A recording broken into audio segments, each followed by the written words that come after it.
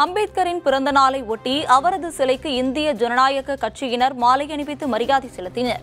இந்தியாவின் முதல் சட்ட அமைச்சரும் ஜாதி ஒழிப்புக்காக தன் வாழ்வை அர்ப்பணித்தவருமான அண்ணல் அம்பேத்கரின் நூற்று முப்பத்தி இரண்டாவது பிறந்த நாள் விழா இந்திய ஜனநாயக கட்சி சார்பில் கொண்டாடப்பட்டது. திருப்பூரில் உள்ள அம்பேத்கர் சிலைக்கு இந்திய ஜனநாயக கட்சி மாவட்ட தலைவர் பாரி கணபதி தலைமையில் ஐஜேகே நிர்வாகிகள் மாலை அணிவித்து மரியாதை செலுத்தினர்.